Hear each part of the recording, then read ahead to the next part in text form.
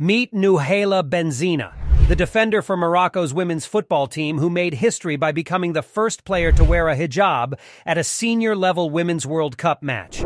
She made her first appearance at the tournament against South Korea and almost capped an impressive performance with a goal but volleyed over the crossbar.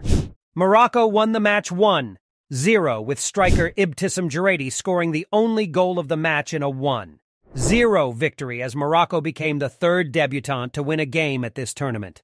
Let's celebrate Nouhaila Benzina's historic moment and her contribution to women's football.